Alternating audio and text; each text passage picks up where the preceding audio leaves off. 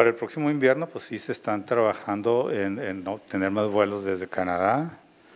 Eh, hay una aerolínea este, nueva, literalmente nueva, que está eh, interesada en volar a México, eh, a, a México. Mazatlán sería su segunda opción. O sea, ya tienen una primera opción, me tocó verlos en, en Los Cabos y